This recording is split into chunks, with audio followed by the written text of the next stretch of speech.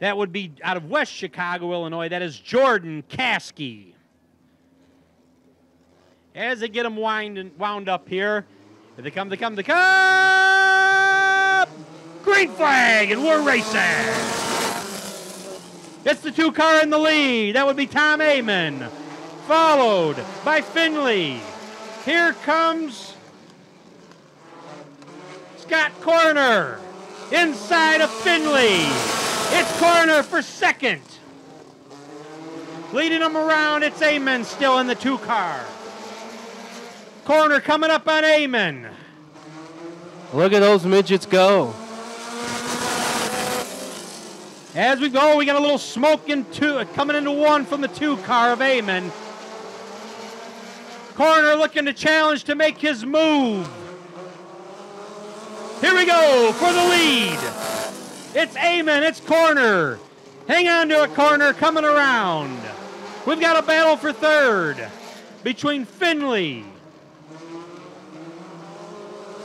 and Caskey. The number one car of Scott Corner was very good the last time they were out here. He won it all on the 4th of May, if you missed it. As Corner and Amon looked like they had contact there going into three. Amon still holding on to that lead. Here comes Corner to make his move. What a great turn that he had in one and two in that one car Scott Corner. Three wide. They're midgets. They could probably go four. I think so. it's Corner Whoa. for the lead. Amon for second. Caskey's going to challenge for second with one to go. It's Caskey in second.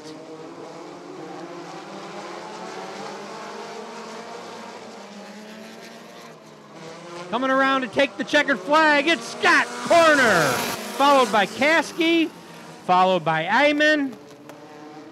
Then the Blackhawks car of Ryan Finley, and rounding out the top five would be the seven car of Roger Egstrom. Scott Corner's second heat victory here at the Rockford Speedway. Also the top qualifier last time.